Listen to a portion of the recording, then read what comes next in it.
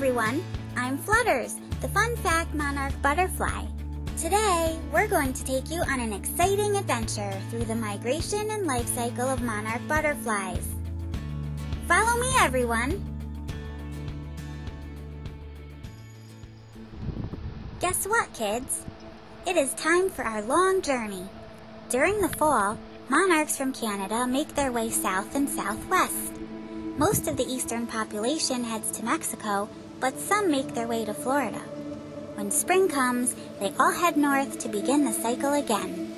Did you know that the monarchs who migrate south in the fall are not the same to return in the spring? They are their great great great grandchildren. Even though the great great great grandchildren have never visited their home in Mexico, their instincts tell them what direction to travel.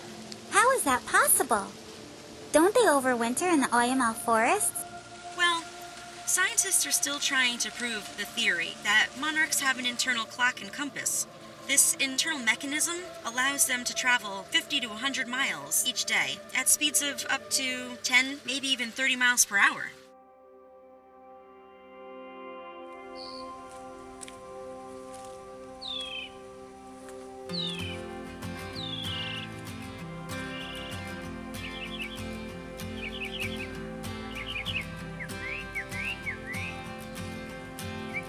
So we call these the Chigurh Islands, and we're right on the Monarch Flyway here on the Llano River uh, between Mason and Junction in uh, Mason and Kimble County. Right along these banks, this is where the swamp milkweed usually is. Let's see what we got here.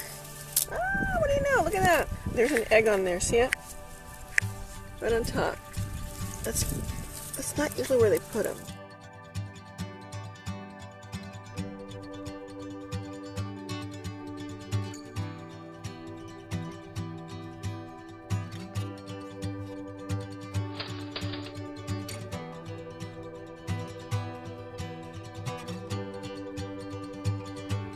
Here we go. Lots of evidence of caterpillars with those little holes.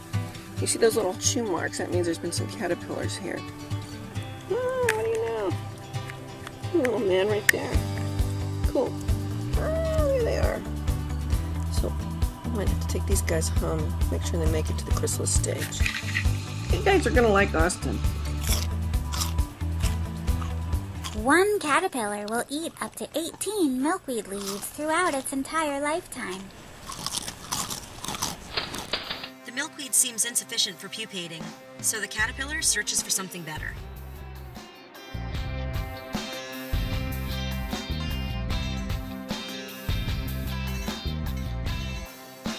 Today's September 21st, and you can see the movement. That's not the wind, that's this caterpillar. Now you can see our chrysalis. We should see it probably hatch tomorrow morning.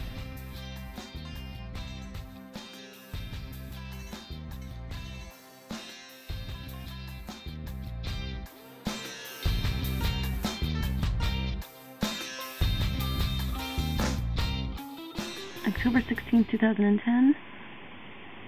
Our new monarch was just hatched. You can see that it is moving freely, like it should be. I think the body is huge. See the fork-like tongue? It's called a proboscis. When the monarch first hatches, it rolls and unrolls the two sections into one, kind of like a zipper.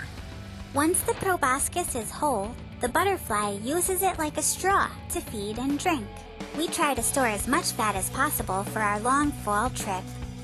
Hey Teri, What's up, Flutters? did you know that monarch butterflies have brush feet? Really? What's that? We have bristles on our feet that help us in a number of ways. We use them to taste, smell, and hold on to objects.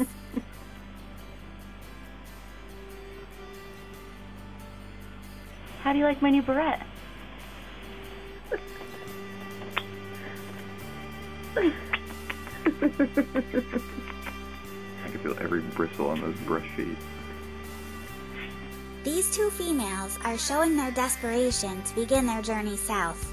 Unfortunately, it wasn't warm enough for flight, so they spent the night indoors protected from predators.